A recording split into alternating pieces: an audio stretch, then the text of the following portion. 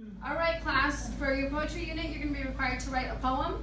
So you can do it in groups or individually. You can start now, it's due on Monday, okay? So get to it.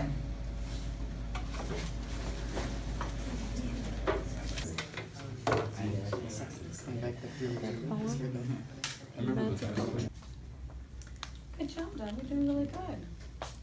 How about you, Will? You haven't done anything. Why do you care if I do my work?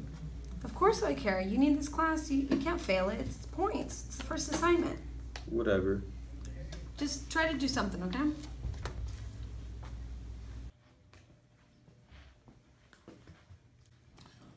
Good afternoon, Miss Hernandez. How can I help you? Do you have any information on Will?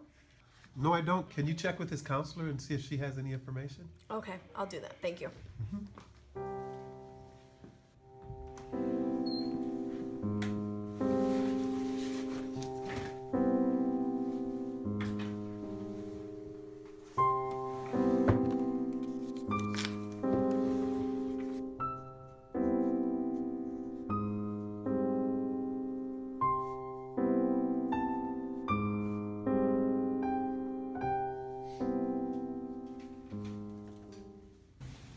All right, class, who's ready to read their poem today?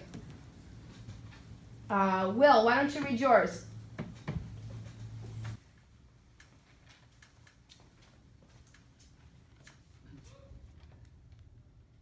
It's never easy to say goodbye.